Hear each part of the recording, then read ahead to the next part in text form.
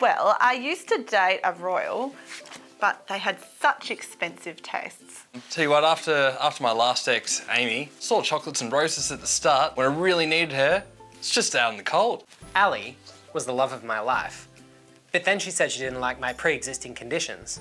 She never said anything about that at the start.